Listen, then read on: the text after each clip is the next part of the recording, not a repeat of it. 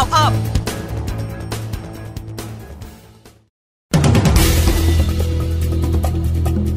7นาฬิกา 18 นาที พลังประชารัฐยังไม่เคาะวันประชุมเลือกหัวหน้า ยืนยันไม่ล้มหรือยุบไปรวมกับพักอื่นแน่ ไม่ปิดกั้นอดีตนักการเมืองเข้าร่วม 7นาฬิกา 22 นาทีพรสินค่าประชุม G7 ไม่ช่วยผ่อนคลายการค้า จับมาตรการตอบโต้หลังทรัมป์โดดร่วมวง 7นาฬิกา39 นาที นายกสมาคมค้าทองคำแนะสัปดาห์หน้าชะลอลงทุน รอผลประชุมเฟด สหรัฐหารือเกาหลี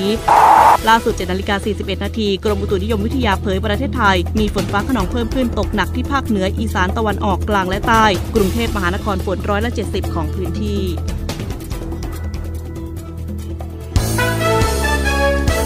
INN News Round Up